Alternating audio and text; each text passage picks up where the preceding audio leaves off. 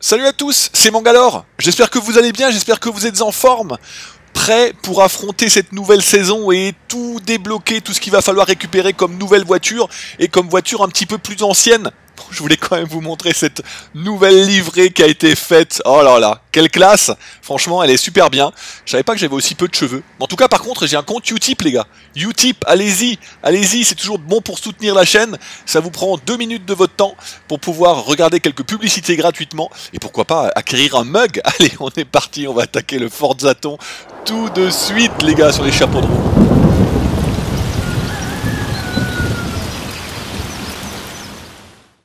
On est parti pour le Forzaton, le dernier Forzaton de l'année.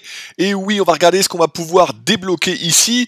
Déjà, on va faire un tour tout de suite dans le Forzaton Shop. Ouh là là là là Ouh, ça, ça me plaît Une Bugatti Divo Une Bugatti Divo. Je crois que j'en ai déjà deux dans le garage. Eh bien écoutez, allez, je claque pour Allez, allez, je claque encore 600 points pour une Bugatti Divo. Bien sûr, on peut en acheter qu'une seule, ok, je vérifie quand même. Et une euh, Renault RS Mégane de 2018. Allez, j'achète ça également. Ça me permettra de la revendre pour pouvoir se faire un petit peu de sous, pour pouvoir ensuite les redistribuer. Ensuite, on va regarder un petit peu ce qu'on a donc dans notre Forzaton de cette semaine.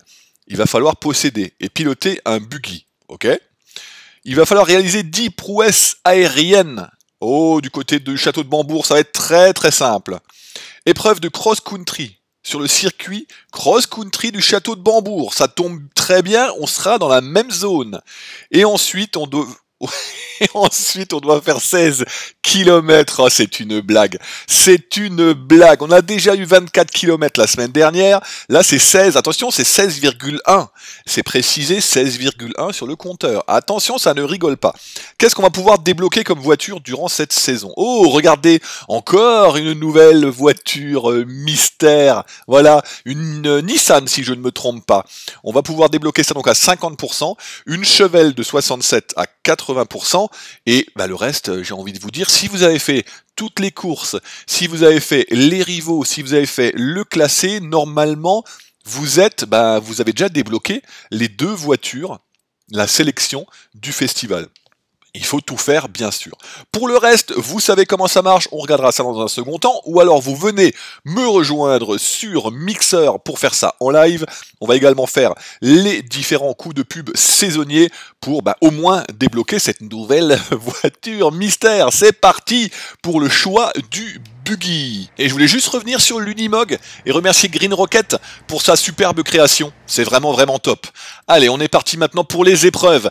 Il y a du choix. Vous avez pas mal de choix dans les buggy. Il y a du Riprod, il y a du, il y a du Desert Dingo, il y a également le Funko qui est plutôt pas mal qu'on débloque sur euh, Fortune Island si je ne me trompe pas. Donc il y a pas mal de véhicules qu'on peut un petit peu tester pour changer un petit peu les trucs qu'on utilise habituellement. Allez, moi j'ai pris bah, une petite voiture Hot Wheels, hein, tant qu'à faire, ça nous fera à nouveau repenser à Forza Horizon 3 et puis on est parti. Les prouesses aériennes, franchement, franchement, vous êtes du côté du euh, château de Bambourg et vous y allez. Vous passez au-dessus des dunes, vous sautez, vous sautillez, vous faites des sauts et ainsi de suite. Vous driftez en même temps parce qu'il y a aussi un défi quotidien à faire et il faut faire un petit peu de drift. Donc en même temps vous récupérez le défi quotidien et puis vous passez d'un côté à l'autre euh, des dunes et puis vous enchaînez tout simplement. Franchement, montre en main. Alors ça par contre c'est très chiant.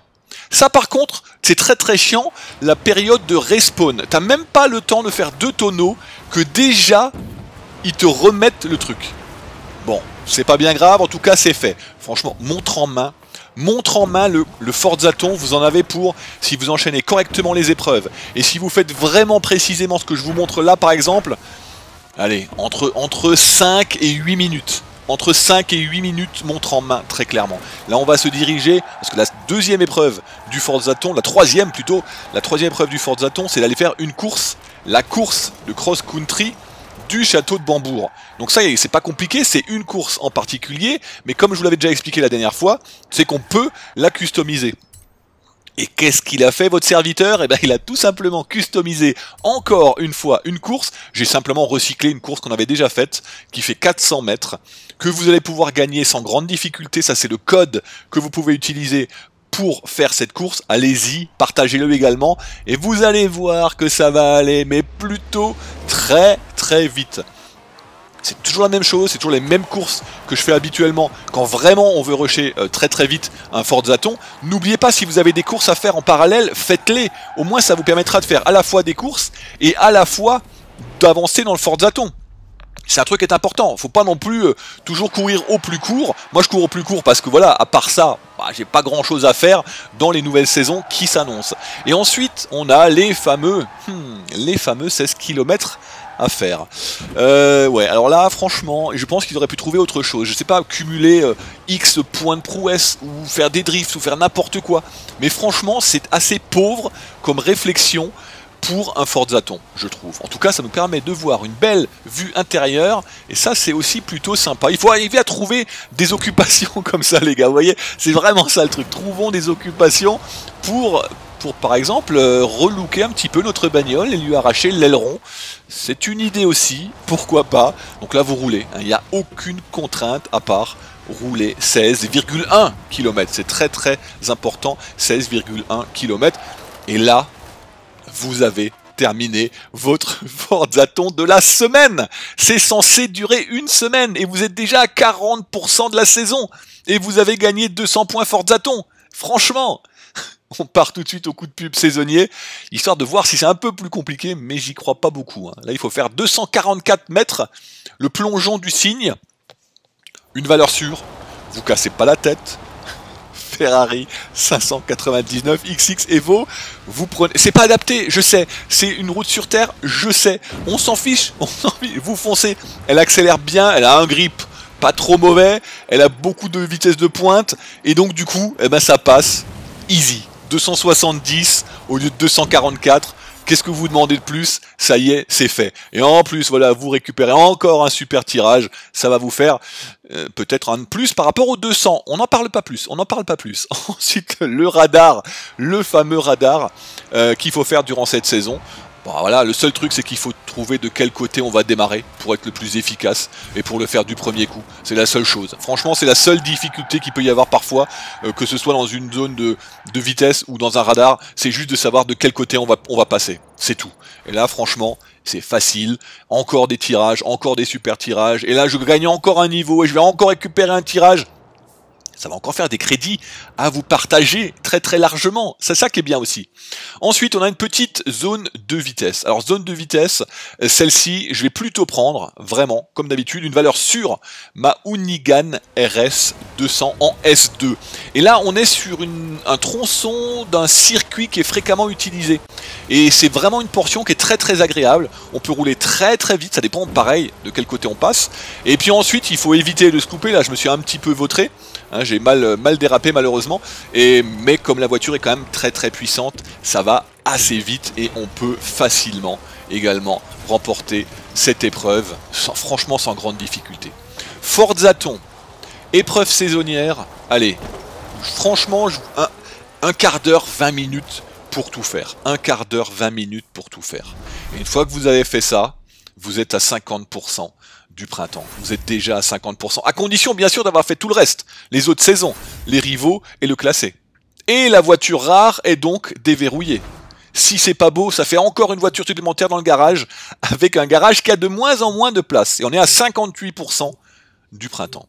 Donc, cette nouvelle voiture, si vous le saviez pas, si vous n'étiez pas au courant, eh ben oui, c'est une Nissan. C'est une Nissan qui ne porte pas de nom, comme la Celica, parce que c'est buggé en France et qu'aux États-Unis ça fonctionne. Donc c'est une Nissan Pulsar. Voilà, vous me direz ce que vous en pensez, vous me direz ce que vous allez faire avec. J'ai hâte de savoir, vraiment, très concrètement, j'ai hâte de savoir ce que vous allez faire avec cette nouvelle voiture. Est-ce que vous allez l'utiliser ou est-ce que vous allez la laisser dans le garage? Je sais qu'il y a une autre voiture que vous attendez, mais ça c'est pour plus tard. Ensuite, pour cette Pulsar, en termes de points de prouesse, rien de particulier. Autre point important, autre point important, et vous me voyez déjà venir. Comment vous expliquer Les plaques d'immatriculation? Il y a un emplacement sur cette voiture, et ça c'est un truc qui est plutôt pas mal, c'est qu'il y a un bel emplacement, donc je me dis que je vais peut-être pouvoir faire quelque chose, et puis, manque de peau, non, une fois de plus, non, ce n'est pas possible. Et pourtant cette voiture, je suis désolé, elle a un emplacement, il est bien défini, visible de tout le monde. Eh bien non, c'est pas possible. Une fois de plus, cette voiture n'aura pas de plaque d'immatriculation et c'est vraiment vraiment bien dommage. On a fait le tour de ce Forzaton, c'était extrêmement rapide, je vous l'ai dit. Voilà, le Forzaton, les coups de pub saisonniers, déjà une voiture supplémentaire dans le garage portez-vous bien, débloquez tout ça. N'hésitez pas à me rejoindre bien sûr sur Mixer, on se marre plutôt bien sur Mixer. Le jeudi soir, c'est soirée championnat saisonnier sur Forza Horizon 4. Donc venez très nombreux, passez l'info autour de vous. Portez-vous bien, ciao